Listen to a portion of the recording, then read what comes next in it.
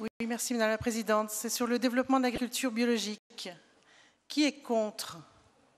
Et oui, qui est contre manger bio? N'allez pas me dire moi, moi, personne. Personne n'est contre manger bio. On ne peut pas être contre. Personne parce qu'on pense à préserver sa santé, celle de ses proches. Personne parce qu'on ne veut pas être la cause de nombreuses et longues maladies de nos agriculteurs. Personne parce qu'on veut tout faire pour garder des abeilles sur Terre, parce qu'on veut garder la fertilité de nos sols, parce qu'on veut une eau potable partout dans notre région et ne pas avoir à payer toujours plus pour essayer de la dépolluer. Et bien sûr, parce que chacun veut aussi qu'il y ait plus d'emplois, ce qui est le cas en agriculture biologique.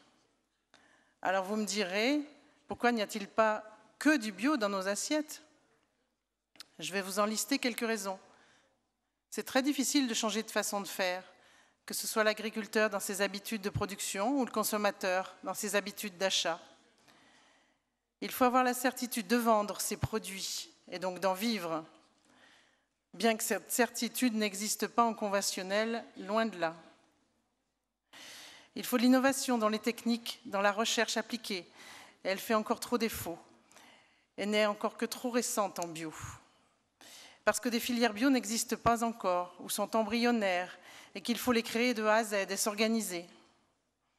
Parce qu'il faut des hommes et des femmes professionnels bio qui représentent la bio partout dans les instances agricoles, les structures, les filières, afin d'influer sur les orientations.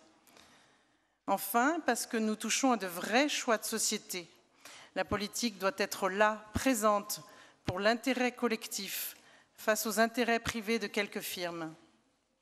Alors oui, la région y travaille déjà, mais pas assez. Notre territoire se fait dépasser.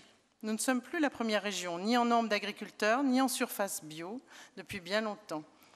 Et par exemple, malgré le gros titre de la revue de la région Décision, les élèves des lycées ne mangent même pas 15% bio encore.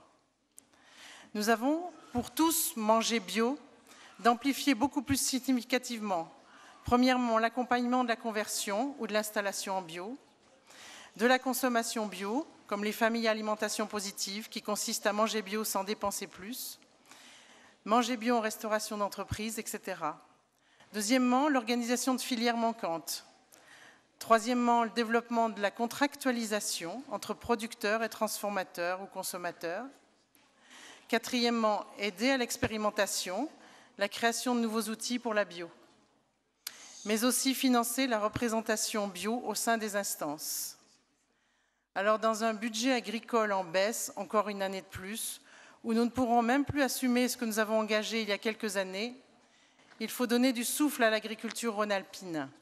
Alors donnons-lui les moyens d'un souffle bio. C'est pourquoi nous vous proposons d'abonder la ligne compétitivité des filières agricoles de manière suffisante et comme noté dans notre amendement. Merci, Merci Monsieur Grégoire. Merci.